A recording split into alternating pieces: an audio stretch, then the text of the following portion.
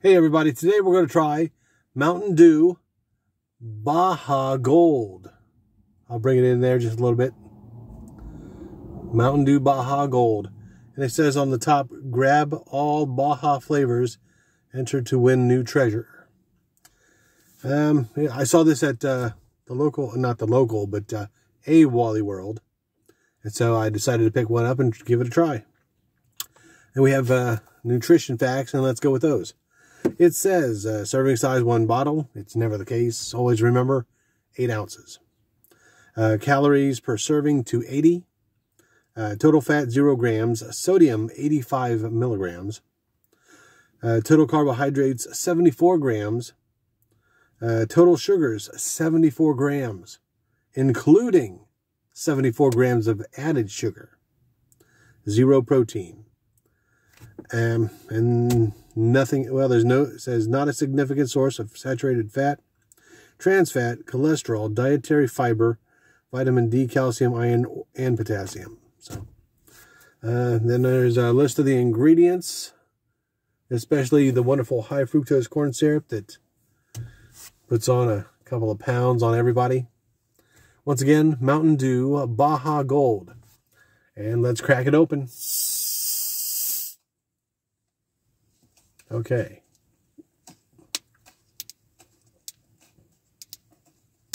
There we go. Clear out the nasal passages once again. Let's give it that whiff test.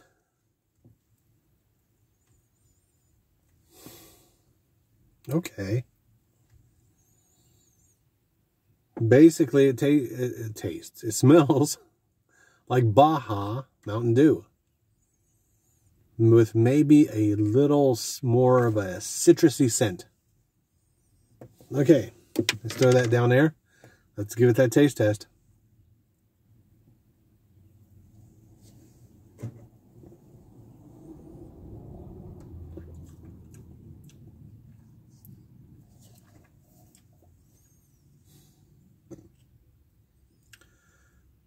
Okay.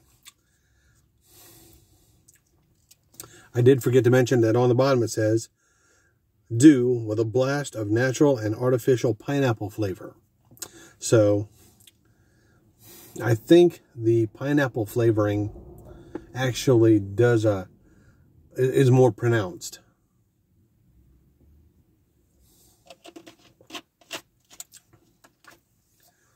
And there it is. Um, what do I think about it? Um, I think I'll give it a thumbs up. Would I buy this as opposed to Baja Mountain Dew um, on a regular basis? Um, that's a hard call. It really is.